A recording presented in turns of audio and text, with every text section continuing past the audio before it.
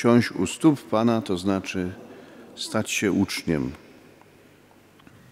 Tu od razu odkrywamy, że być uczniem w języku Biblii znaczy nie tyle e, podjąć jakąś naukę czy edukację, tylko znaczy wejść w relację, w relację z kimś, kogo chcemy nazwać i możemy wprawdzie nazwać swoim mistrzem.